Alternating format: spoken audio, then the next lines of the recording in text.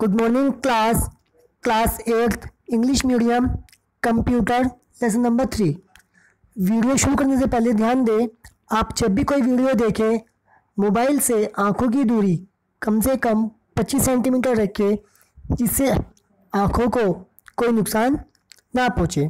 बात करते हैं फॉर्मूला एरर फॉर्मूला एरर क्या होते हैं?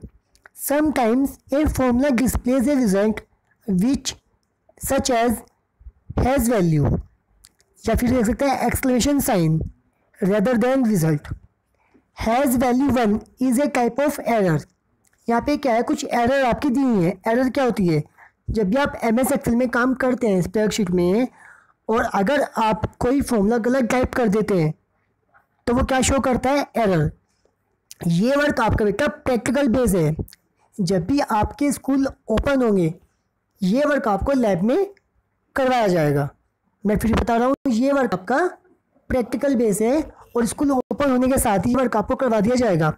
वैसे मैं बता दूँ आपको, ये जो एरर आप देख रहे हैं, जैसे हैश टैग या वैल्यू या डिवीज़न या न्यूमेरिकल एन अपॉन ए या फिर नेम अगर आप इस वजह से एक्सेल में कुछ भी टाइप करेंगे तो वो वैलिड नहीं है, वो एक एरर शो करेगा। तो इसका मतलब क्या है? हमने कहीं गलती की है।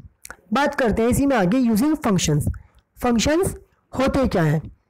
Functions are the special pre return formulas जो फॉर्मूला पहले से उसके अंदर मौजूद है।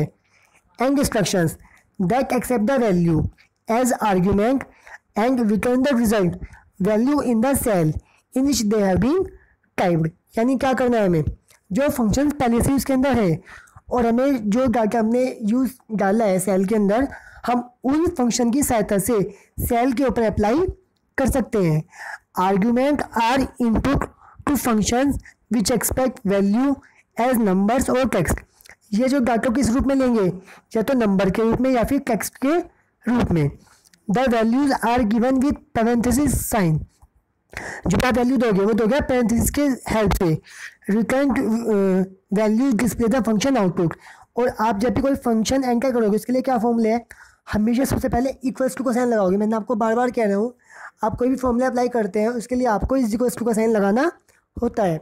A valued Excel name must be there as function name एक आप वैल्यूड नेम दोगे, जैसे आपको क्या करना है? सम करना है एवरेज निकालना है एडिशन करना है सब्ट्रैक्शन करना है।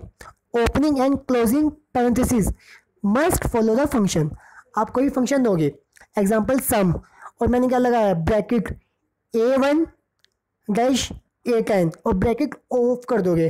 अगर आप ब्रैकेट ऑफ़ नहीं करोगे तो वो एक्सेप्ट नहीं करेगा। वो क्या दिखा देगा? एक एरर शो कर देगा। जैसे नीचे देख रहे हो, कुछ क्या कॉमनली फ़ंक्शंस है।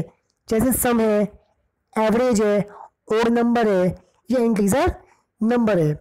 ये वर्क आपको लैब में करवा दिया जाएगा। आज के लिए इतना ही है। कल हम इसी चैप्टर में आगे बढ़ेंगे।